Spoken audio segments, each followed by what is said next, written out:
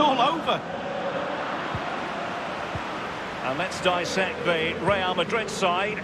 Marcelo starts with Carvajal as fullbacks. Luka Modric plays with Toni Kroos in the centre of midfield. And leading the line today is Caddy. Oh, he's through here. And in it goes. A goal, a decisive goal. Well, just like that, it's done. Pack your bags, Derek. Our work is over.